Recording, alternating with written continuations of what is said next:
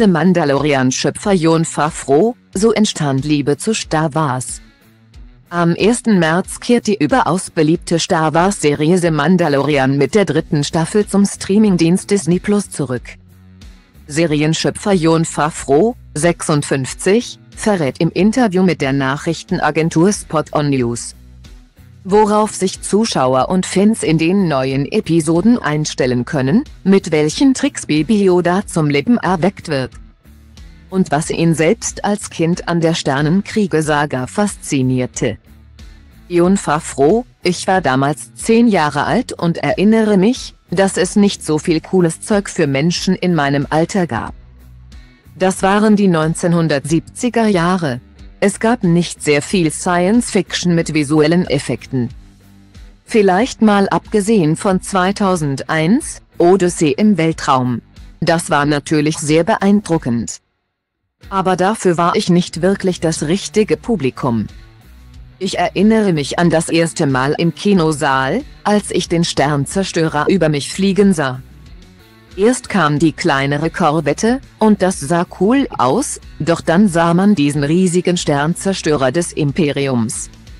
Der einfach immer weiter ging, in einer einzigen Einstellung, und an dem Punkt wusste ich, das wird mich umhauen. Jede Szene und jede einzelne Einstellung ist mir ins Gedächtnis eingebrannt, ich denke.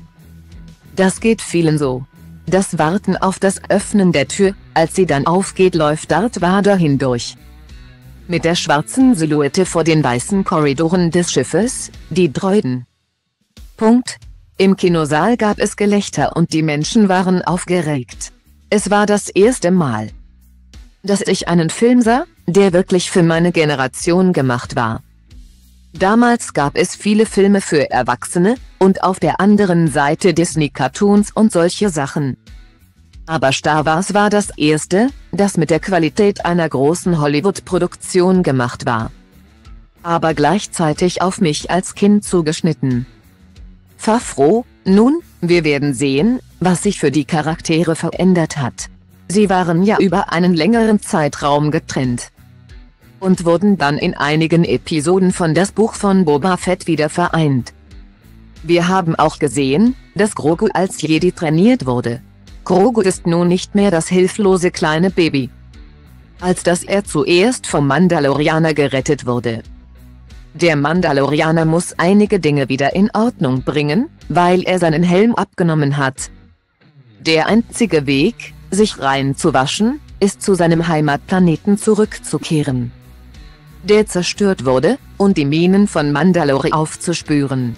Es gibt also Raum für viele verschiedene Arten von Abenteuern andere als wir in der Vergangenheit gesehen haben. Gleichzeitig wird eine Welt besucht, die in dieser Form in Live-Action-Serien oder Filme noch nicht zu sehen war. Favreau, Bo-Katan kennt man eigentlich sehr gut, wenn man die Serie The Clone Wars gesehen hat. Auch in unserer Show ist sie hier und da vorgekommen. Sie ist auch eine mandalorianische Kriegerin aber sie kommt aus einer sehr anderen Kultur, in der die Mandalorianer ihre Helme abnehmen. Die Mandalorian-Hauptfigur Din Djarin pflegt einen viel dogmatischeren, altmodischen Stil.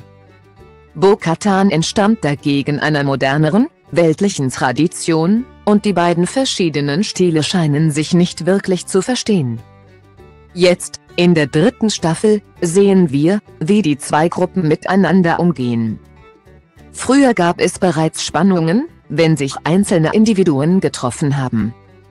Jetzt sehen wir, was passiert, wenn eine große Menge von ihnen zusammenkommt. Favreau, wir stehen in Kontakt. Er ist ein paar Mal vorbeigekommen, ich bin mir gerade nicht sicher, bei welcher Staffel das war, aber wir haben ihn definitiv zu Gesicht bekommen. Er schaut sich die verschiedenen Serien an, und nicht nur wir, sondern auch andere Filmemacher aus der Star Wars Welt treten mehr und mehr mit ihm in Kontakt. Sie merken, was für eine fantastische Ressource er ist, und wie sehr ihm Star Wars nach wie vor am Herzen liegt. Er ist zwar nicht mehr derjenige, der Tag für Tag die Geschichten erzählt, nicht wie damals. Als er der Autor von allem war, aber er ist immer noch sehr freigebig darin, seine Einsichten und sein Wissen zu teilen. Er steht uns, mir selbst, und anderen Filmemachern jederzeit zur Verfügung. Ich finde, das ist von unschätzbarem Wert. Fafro, nun ja, in jüngster Zeit hat sich verändert, dass es so viele Wege zu kommunizieren gibt. Aufgrund der sozialen Netzwerke gibt es so viel Feedback. Da kommt schnell das Gefühl auf, dass es da draußen tausende von verschiedenen Stimmen gibt. Aber im Grunde ist das schon immer so gewesen. Die Menschen haben immer temperamentvoll reagiert, waren für oder gegen die Filme. Besonders bei Star Wars, selbst als ich noch ein Kind war. Der Unterschied zu heute ist nur, damals fand das in der Schule oder am Arbeitsplatz statt, im Pausenraum oder der Kantine. Meinem Erleben nach haben die meisten Filmemacher und Geschichtenerzähler eine gesunde Balance gefunden. Was das angeht. Sie erhalten ein Gefühl dafür, was die Gruppe denkt, denn es ist wichtig zu wissen, ob sie etwas gut finden oder davon enttäuscht sind.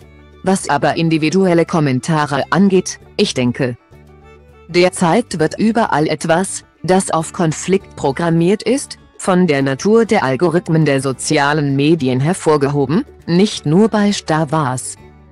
Deshalb sollte man sich nicht in den Reaktionen verlieren und sich zu eingehend mit ihnen beschäftigen. Fafro, wir setzen viele verschiedene Kombinationen von Techniken ein. Meistens ist es tatsächlich eine animatronische Puppe. Obwohl wir davon verschiedene Exemplare und Ausrüstungen haben. Mittlerweile steigen jedoch die Anforderungen an die Puppe. Da sie Dinge wie Laufen oder Sprünge bewältigen muss.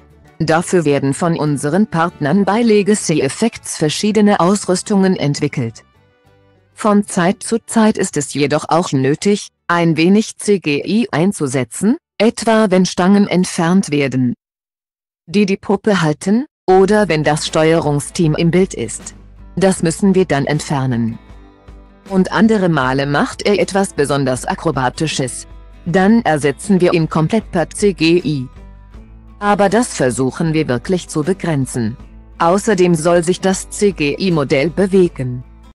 Als ob es eine Puppe wäre. Die Ästhetik der durch eine Puppe dargestellten Figur ist uns sehr wichtig, genau wie beim originalen Yoda.